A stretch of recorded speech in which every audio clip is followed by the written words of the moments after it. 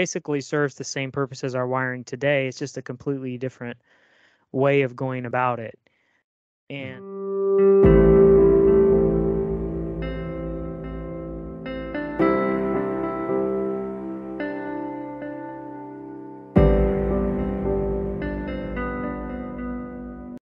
Hi, this is Stephen with Service Plus Electrical, and I'm here with David with the Electrician Ed. And we're here to talk about knob and tube wiring. This is one of the areas where we see a lot of the most dangerous situations in older houses. And so we decided to bring you this series on knob and tube wiring. And this first, so this is going to be a multi video series. Uh, in this first video, we're going to talk about knob and tube 101, just what is it? we have some examples. We're going to show you what it looks like. And um, if you haven't checked out our website, we're posting these articles that David has written on our website. So by the time this is up, then we will have this article on our website as well to go along with it.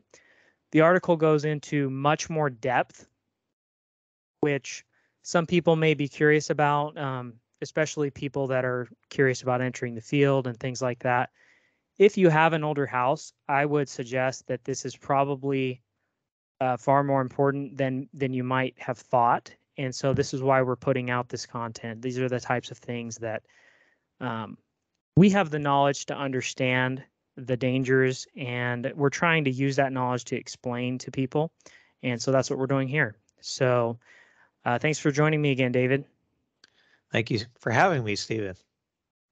So I think I think a lot of people have heard of this knob and tube wiring, and uh, it's just kind of a a scary thing that gets tossed into the conversation when someone buys the house, and then mm. It's often forgot about after that. Um, yep. Where do we want to start with what is knob and tube wiring?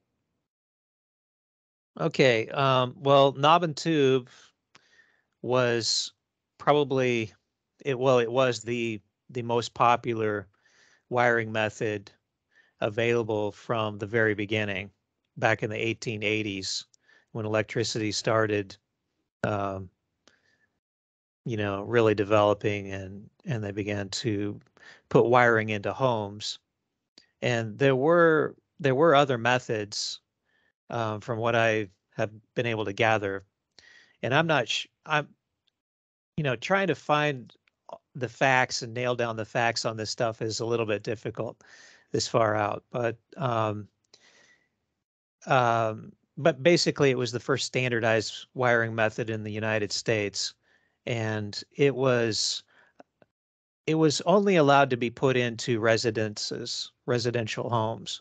Mm-hmm. Uh, you couldn't you couldn't put it into commercial buildings or industrial yet. So they did have conduit back then, um, which you know you you could have used that method in the home also but it's a lot more expensive and time consuming mm-hmm. um, so it was the it was the one that made the most sense to uh, to wire your house up that way and people didn't really know any different anyway so we're talking 100 plus so you said 1880 was kind of the starting area so yeah. we're talking 100 plus years ago, and the, the history kind of disintegrates the farther you go back. Yeah. And so David's done a lot of research on, you know, where did this come from, and and that's what we're here to talk about today. Mm-hmm. Um, we do have some examples. So where should we where should we start talking about as far as what is the knob and tube wiring? Okay, well, it's um, it's it looks like its name. Um, it's what it is is two single conductors, wires, that are run next to one another or kind of separated a little bit. Um, and they they run through a system of knobs that are made out of porcelain. There you go. So here I got a knob. And yeah, you see, yeah, as David said, they're made out of porcelain. This is a knob where they use to support the wires. And here's a second one. So as you see in the stud bay, they'll run two of these, what we call hot and neutral, right? Mm-hmm. Mm-hmm. And that's what it'll look like. Oftentimes in the attic is the only place you'll see it nowadays. Mm-hmm. Sometimes in the basement. Yeah, and notice that those uh, the wires that are wrapped around, those are supposed to be the same um, strength as the conductor that it's you know holding. hmm Um, that was just one of the requirements that they had in there. So that would be like a wire tie. Um, that little bit of wire is not supposed to be electrified, but you can see if it's coiled around the other one, it's it's going to get a little bit of induction there. Um, I didn't even think about that. Uh, Uh-huh. and that's going to come up later when we start talking about it. But um, so these conductors, the- By it's not- conductor, we mean wires, Mhm. right? These wi- the wires were not like they are today. They used an insulate. They were still coming up with this stuff, uh, doing the best they can, could, and I believe that they did know about all the the principles that we know about today, Faraday's laws of induction and um, Lenz's law. And I'm I'm not I'm not real knowledgeable in in all of those things. I just kind of understand the gist of it, so I'm able to explain it. Um, but they used um, natural rubber for their insulation around the conductor. Now that probably changed, and your conductors that you sh- just showed us, they look like they are probably newer, and they've also got a Mhm. cloth um, outer sheathing around it. It looks like, S- but um, originally they were just the rubber going Mhm. around these conductors, from what I understand, and um, so they're they're copper copper wires, and they were something like ninety nine point seven percent pure copper, something like Mm. that.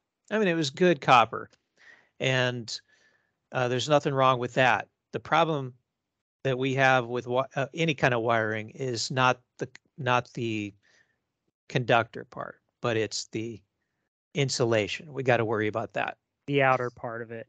The outer part, yeah. And so yeah, and so we're going to get more in depth on the on the next video about what the pros and cons of knob and tube are, and it's more on the con side just because of how old it is. But so we went over what the knob is, and you've seen that. Okay. This is this is the knob.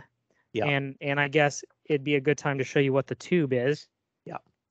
And so these wires were running through these knobs and tubes. Here's he's showing a tube that um, they would drill, they would bore a hole through the framing members, the wood framing members, and run their conductors through the wood. So the the uh, the tube acted like a an extra barrier between the wood and the the wire and the insulation Yeah. and and then they were supposed to keep the knobs would hold uh, the wires away at least one inch from the surfaces that they were running on and uh, and I have a I have a good picture that I figured this would be a good time to share that because let me know if you can see it.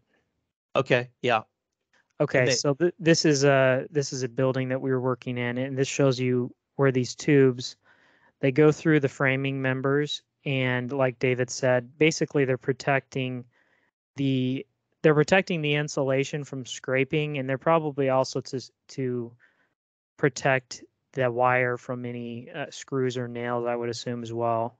hmm I do have another one here with that shows um, wires going through them, which you can see there was insulation on this, so we'll get in, into that problem later.